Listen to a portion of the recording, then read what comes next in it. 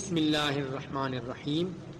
رسول اکرم صلی اللہ تعالی علیہ وسلم نے ارشاد فرمایا، جو استخارہ کرے وہ نقصان میں نہ رہے گا، جو مشاورت سے کام کرے وہ پشیمان نہ ہوگا، اور جس نے میانہ روی اختیار کی وہ محتاج نہ ہوگا۔ بحوالہ مجمع الزوائد۔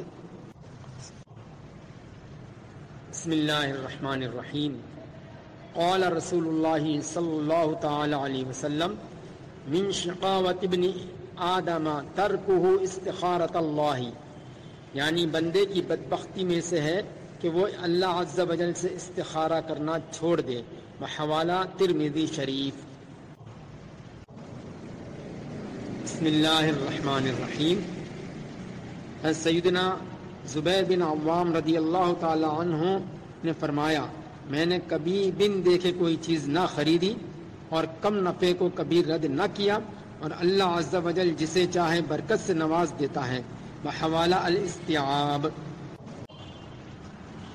بسم اللہ الرحمن الرحیم۔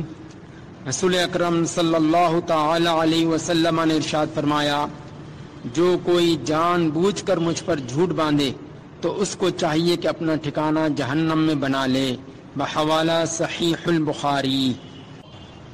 عزیزان گرامی بکھرے موتی کے چینل کو سبسکرائب کریں اور اسے لائک کریں اور اپنے دوست احباب سے شیئر کریں۔ جزاک اللہ خیرہ